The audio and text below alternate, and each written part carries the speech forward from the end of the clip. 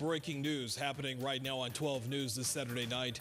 Three people are dead after a boating accident along Lake Powell near Navajo Canyon in the Glen Canyon National Recreation Area. Here's what we know so far. Two boys, both of them just four years old, and a 72-year-old woman identified as Melissa Bean died in that crash.